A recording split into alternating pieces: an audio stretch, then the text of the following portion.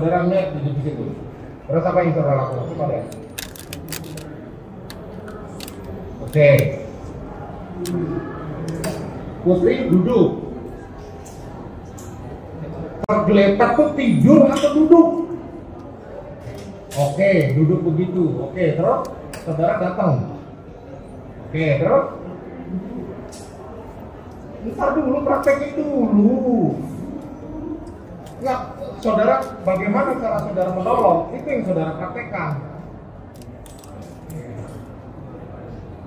Megangnya di atas, kan? Hah?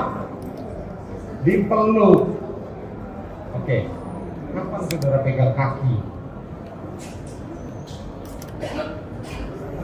Hah?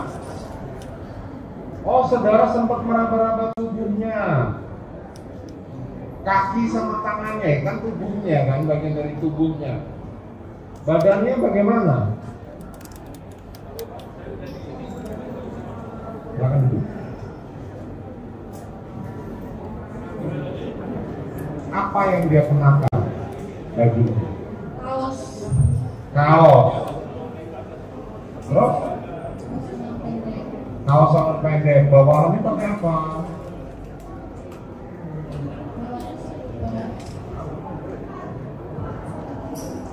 Tadi nyebut kaos cepet banget. Lupa.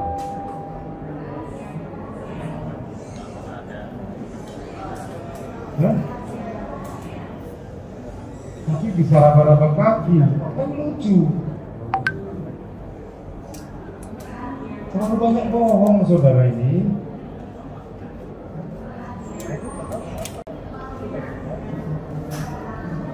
Pakai apa bawahannya?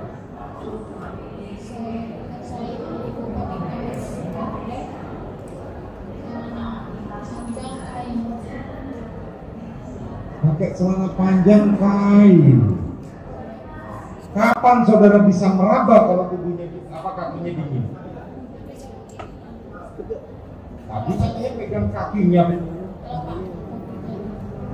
Kenapa saudara tiba-tiba kelapa? sesuatu yang mungkin Emang di telapak saudara tahu apa? Kalau udah dipegang telapak tahu dari mana? Bukan itu loh, kenapa saya bingung? Apa bertanya begitu? Karena saudara cepat sekali mengatakan tangan dan kakinya dingin. Tahu dari mana?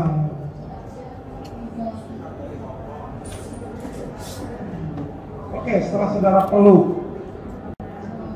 apa yang disampaikan saudara Putri? tidak ada. Tadi saudara ngomong katanya Joshua nggak boleh naik. Ketahuan bohong saudara. Iya kan?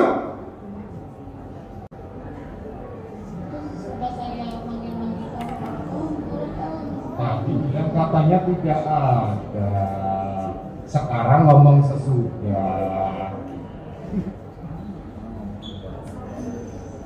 Saya om om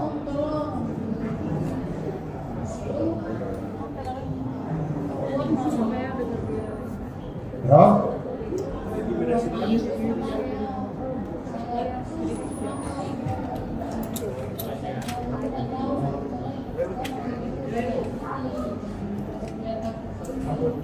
bro,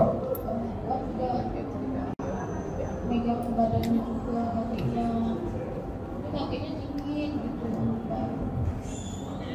ya itu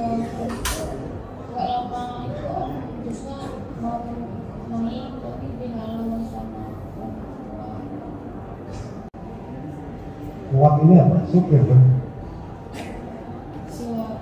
Supir kan? Kok berani dia pegang tubuhnya untuk majikannya? Masuk akal nggak?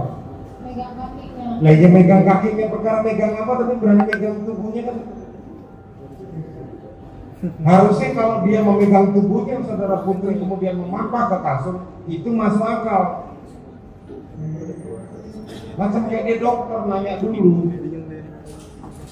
Kenapa? Oh saya pegang kakinya dulu ya.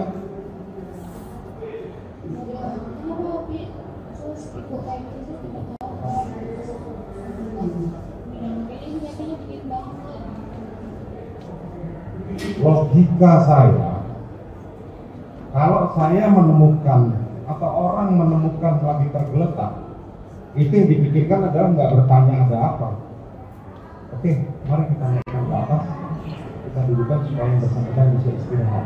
Bukan bertanya atau berantem ngelarang, hei kau nggak usah naik ke atas. Bukan seperti itu